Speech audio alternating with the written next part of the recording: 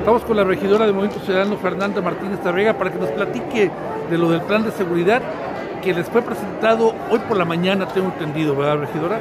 Sí, claro que sí. El día de hoy por la mañana el secretario Víctor Armas, así como la alcaldesa Lorena Alfaro García, nos hicieron eh, a bien presentar el programa eh, a modo general de lo que es de seguridad. Ya los presentarán a ustedes, eh, al público y a los reporteros, lo que es ya más específico este plan de seguridad, pero nos hicieron este, a nosotros favor de presentándolo antes para poder discutirlo, dar nuestra opinión, este, revisarlo bien y van a hacer favor de enviárnoslos a nosotros. ¿Cuáles son las bondades de este plan de seguridad, regidora? Es un plan de seguridad que yo veo que realmente está trabajándose no solamente la parte de la fuerza de seguridad pública, sino también la parte social, el tejido social de la mano. Escucha muy trillado la, la, el tema transversal, pero realmente tiene que ir transversal, de la mano. Y es algo que yo vi muy bueno de este plan de seguridad.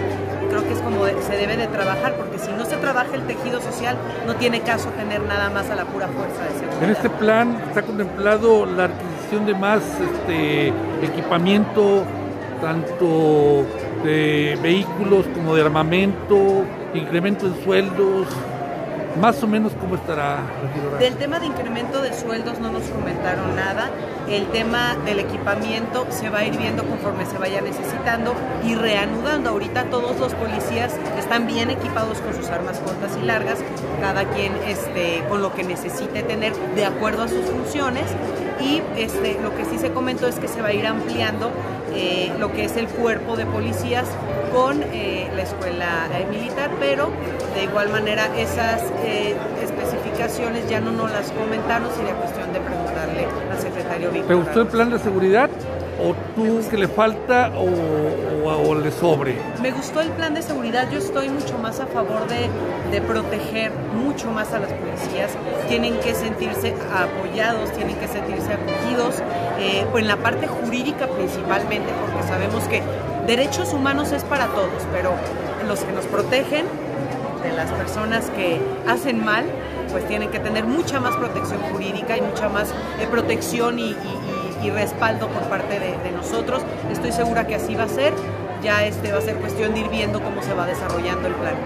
Tengo entendido que es el 35% del presupuesto lo que se va a destinar a seguridad pública. Exactamente, sí es el presupuesto más grande de todas las dependencias, porque hay que recordar que la principal función del gobierno es el bando de policía y el buen gobierno.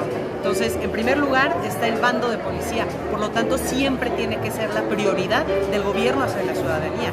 Por eso es también lo que más se lleva de presupuesto. Evidentemente, vamos a estar, yo por mi parte voy a estar muy atenta de que se utilice adecuadamente este recurso en pro de, del cuerpo de seguridad, de la Fuerza de Seguridad Pública Ciudadana y mucho más de los irapuatenses, que son los beneficiados en este tema. ¿De cuánto dinero estamos hablando, regidora? Es aproximadamente 600 millones de pesos. Para este 2022. Aproximadamente para este 2022. Fue como quedó, incluso está ahí en el presupuesto de egresos eh, de este año, ahí viene especifica, eh, especificado lo que es el presupuesto de cada dependencia. Oye, muchas gracias. Al contrario, gracias a ti.